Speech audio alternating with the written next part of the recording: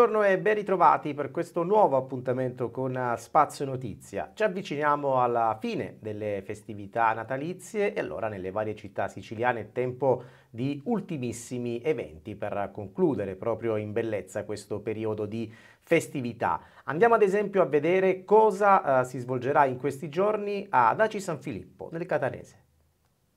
Ad Aci San Filippo anche quest'anno torna la tradizionale cona che con l'appuntamento sulle note del Natale, atteso spettacolo natalizio giunto alla seconda edizione e con il concerto bandistico porterà al termine il ricco calendario natalizio allestito dal parroco Don Roberto Strano in collaborazione con i membri del comitato dei festeggiamenti in onore del patrono San Filippo da Gira. Dal 5 al 7 gennaio la basilica sarà la culla di Gesù Bambino, alla quale i fedeli e i turisti potranno accostarsi con fede e stupore, apprezzando la bellezza. La cona, progettata da Sebastiano Florio, è sempre suggestiva e riveste ancora molto interesse, tanto che nell'altare del santo patrono si allestisce questo particolare altarino con la Santa Famiglia adornata con agrumi, frutta, fiori, foglie e dolci, tutti elementi associati all'inverno. Questa sarà l'occasione per svolgere i canti tradizionali, le nenie e le poesie che saranno i protagonisti dello spettacolo sulle note del Natale organizzato da Antonino D'Amico e del concerto del corpo bandistico guidato dal maestro Michele Pio Barbagallo. Come membro del Comitato San Filippo da Gira ho il piacere di invitarvi a quella che è la manifestazione conclusiva di questo Natale vissuto in parrocchia.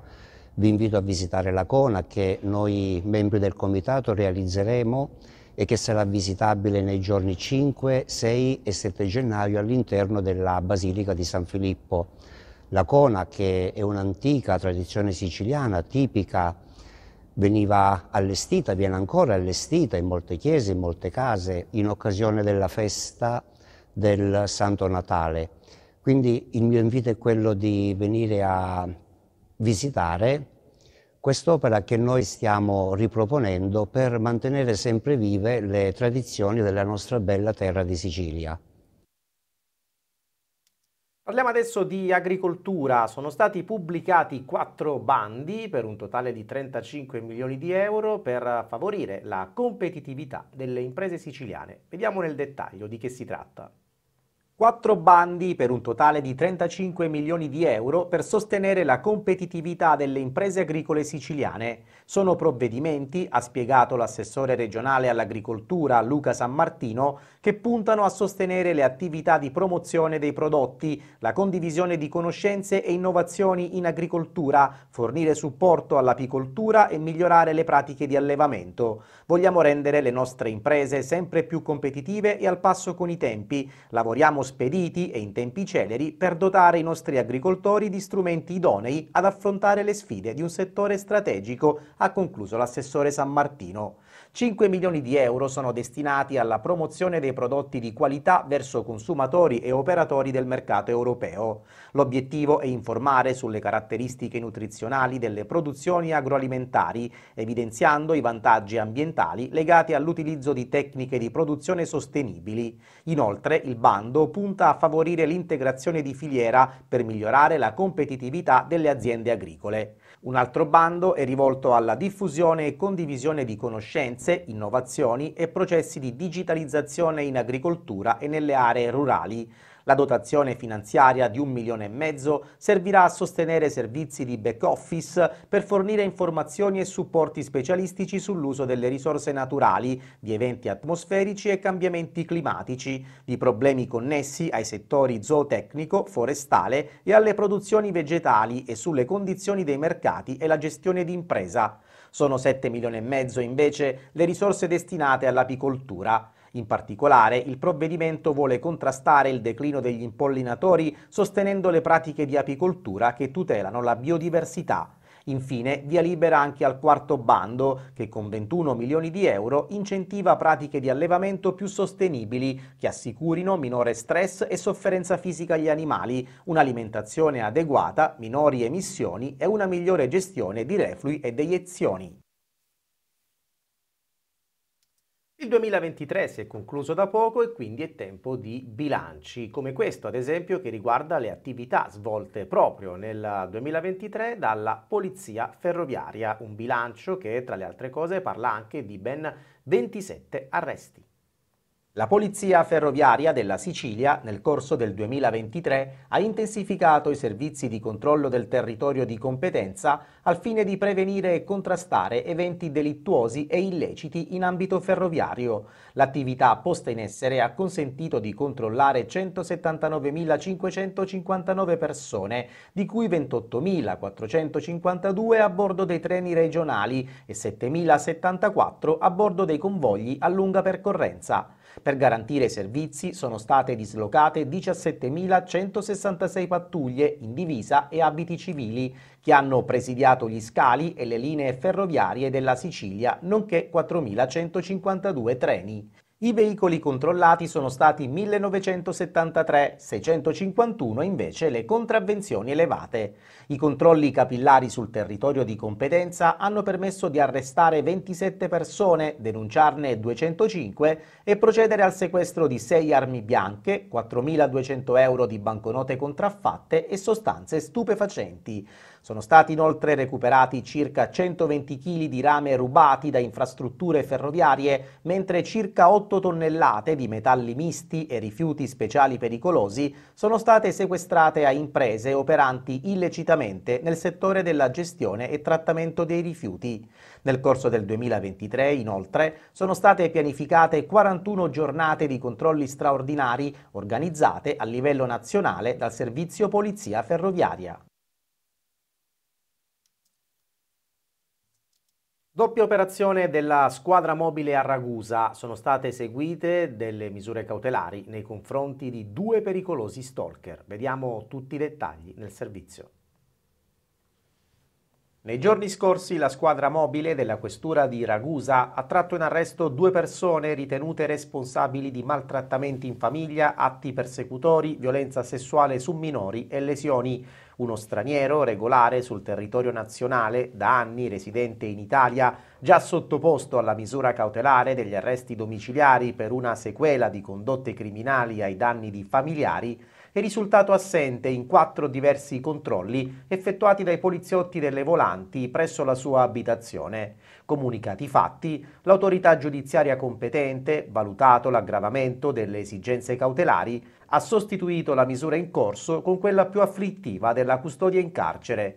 Nella medesima giornata, all'esito di un'attività investigativa svolta dalla squadra mobile della questura di Ragusa, è stato arrestato un altro pericoloso stalker ritenuto responsabile di atti persecutori e lesioni personali nei confronti della coniuge e del figlio minore. L'uomo ha violato ripetutamente la specifica prescrizione del divieto di avvicinarsi alle parti offese e alla loro abitazione, dando inizio, peraltro, a una serie di molestie anche nei confronti di altri soggetti. Anche in questo caso, all'autore delle condotte persecutorie è stata aggravata la misura coercitiva del divieto di avvicinamento con l'applicazione di strumenti di controllo elettronici, il cosiddetto braccialetto elettronico, che consente alle vittime di conoscere in tempo reale l'eventuale vicinanza dello stalker nella sfera vietata, nella circostanza stabilita dall'autorità giudiziaria in 500 metri. Restiamo nel Ragusano, in questo caso la notizia arriva da Vittoria, dove un giovane è stato arrestato dai carabinieri e condotto in carcere. Era infatti evaso da mesi dagli arresti domiciliari e si era reso irreperibile. Continua senza sosta l'attività del Comando Provinciale dei Carabinieri di Ragusa anche al fine di garantire la corretta esecuzione dei provvedimenti adottati dall'autorità giudiziaria.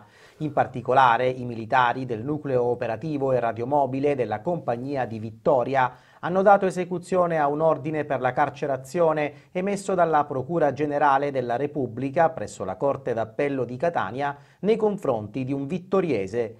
Il giovane, evaso dagli arresti domiciliari ad aprile dello scorso anno, è stato individuato dai carabinieri nei pressi del suo domicilio a Vittoria. I militari dell'Arma, dopo averlo identificato compiutamente, lo hanno condotto presso i loro uffici. I carabinieri, dopo aver proceduto nei confronti del giovane a deferirlo in stato di arresto all'autorità giudiziaria per il reato di evasione, gli hanno congiuntamente notificato il provvedimento dell'ordine per la carcerazione emesso dall'autorità giudiziaria catanese, poiché condannato a espiare la pena della reclusione per fatti commessi a Vittoria nel mese di marzo 2022, traducendolo presso la casa circondariale di Ragusa, terminate le formalità di rito. Un 29enne è stato invece bloccato e denunciato dai carabinieri ad Alcamo, nel Trapanese. L'uomo era infatti scappato durante eh, un controllo dei militari dell'arma, non si era fermato ed era fuggito via a bordo della sua auto.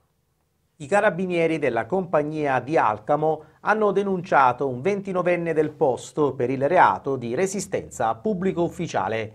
Il soggetto, alla guida della propria autovettura, non si è fermato all'alt intimatogli dalla pattuglia che stava effettuando un posto di controllo alla circolazione stradale, dandosi a precipitosa fuga per le vie del centro cittadino a elevata velocità.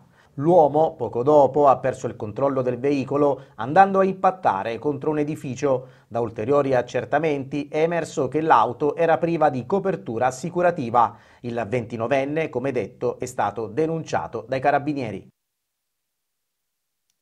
A Catania la polizia ha invece scoperto una fabbrica clandestina di fuochi d'artificio. Un 35enne è stato arrestato.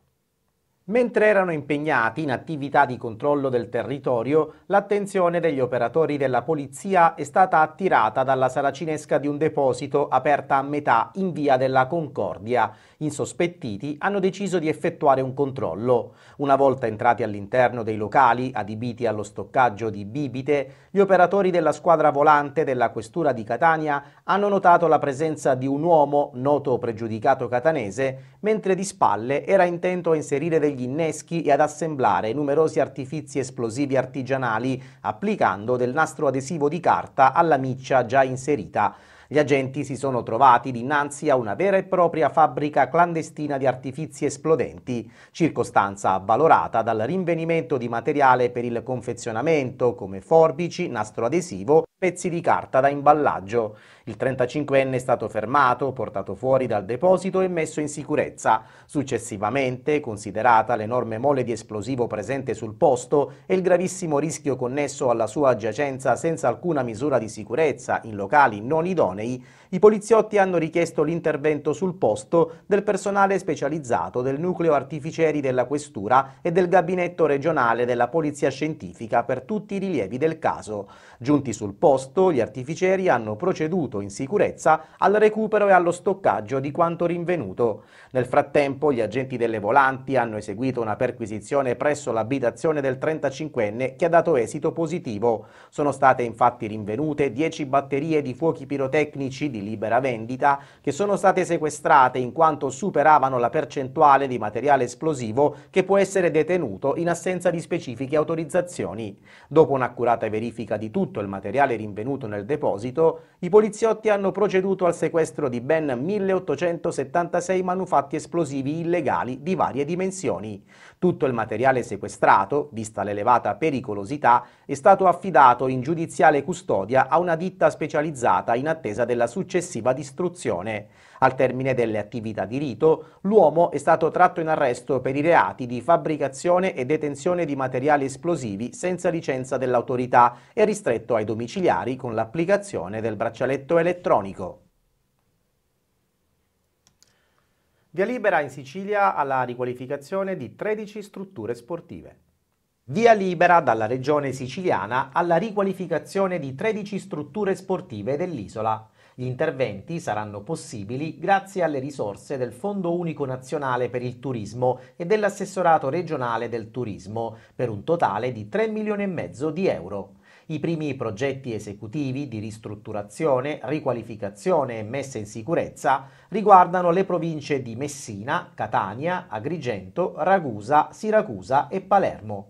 Nelle prossime settimane a questi si aggiungeranno altri due interventi, le cui istruttorie sono in fase di completamento, destinati ai comuni di Sant'Agata di Militello, nel Messinese, e Modica, in provincia di Ragusa, per un totale di circa 700.000 euro. Abbiamo condiviso, ha dichiarato l'assessore regionale allo sport Elvira Amata, le esigenze delle amministrazioni comunali Sono certa che questa iniziativa, possibile grazie alla strettissima sinergia ormai fortemente consolidata con gli uffici del Ministero del Turismo, costituirà un'ulteriore occasione, tra l'altro, per implementare significativamente anche l'attrattività turistica degli impianti che potranno essere utilizzati, ha concluso l'assessore.